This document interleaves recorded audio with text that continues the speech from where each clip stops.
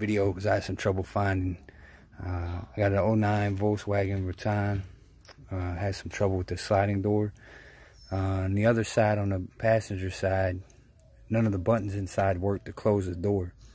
And it would work fine to open it, but it wouldn't work to close it. So I looked and actually this black wire on the other side was completely separated.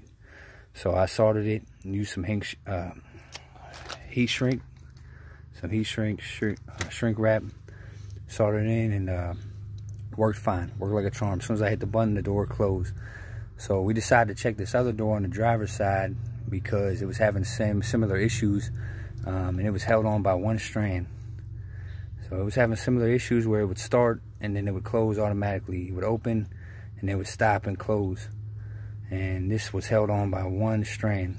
So I'm gonna do the same thing. I'm gonna solder it up uh, and I'll show you guys how to solder it and then heat shrink it and I'm good to go. Yeah. Alright, so I'm gonna take my, strippers here, 18 gauge wire, and I'm gonna strip a good good portion. Just give a little twist and pull, it'll come right off. Do the same thing on the other side. And give it a little twist and tug and come right off. Trim that piece.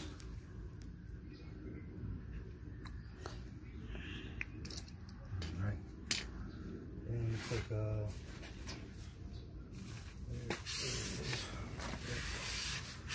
little piece of my shrink wrap, heat shrink. Right. Forget, you keep forgetting the name. Yeah. There's different people call it different stuff.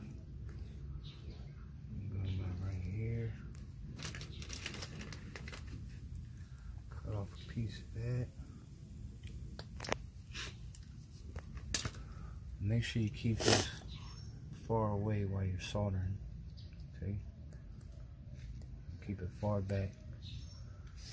You don't get it caught up. Then I'm fan it out a little bit. Fan this side. Okay, then I, I feed them together. Fan it out. Yeah. Twist. Yeah, you twist it. You just have to twist it. Yeah, make sure you do it really really thin. Yeah, and really tight. Yeah, really So tight. it actually works. Really tight and really thin so that the, it'll heat up enough for the solder to melt through. Okay. Alright, so now separate it, keep the heat away from the other wires. You kind of want it flat so that the heat will travel up. You, hey Daddy. Yeah. Uh, so you really, You you, recording this? yeah. Do you realize if you turn off the camera and turn on the camera, this like gives it in parts and parts?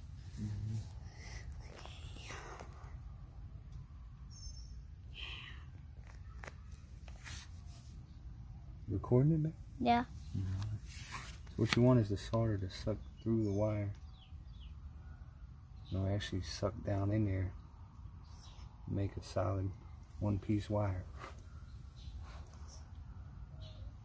And I want to make sure this is really good because it's there's actually free moves inside this harness so I want to make sure it's really tight. Let that cool for a second before I put this shrink wrap on. Heat shrink. Oh, you turn the video off. Guys, so we're going to close the, let's, let's hope it works. So I got it all soldered up, so now we're gonna give it a try. Make sure everything works. So go ahead, baby. Because sometimes it might not work. Yeah. So let's do it. Oh, it Good. works. That's it, guys. How I noticed it, um, the inside buttons on the passenger side, n- none of the buttons worked to close the door. They would work fine to open it. Uh, you'd hit any of the buttons and it would open, sliding, automatic sliding, no problem. But none of the buttons worked to close the door. Not the outside handle, the inside handles, nothing worked. So definitely, if that's your, if you're having those kind of issues, um, take that wiring harness apart. You can find other videos on YouTube showing you how to take off the clips. It's really simple. took me about five minutes, um, not even two, between two to five minutes on each door. But um, definitely get inside that harness and check all those wirings. And it's a real simple fix.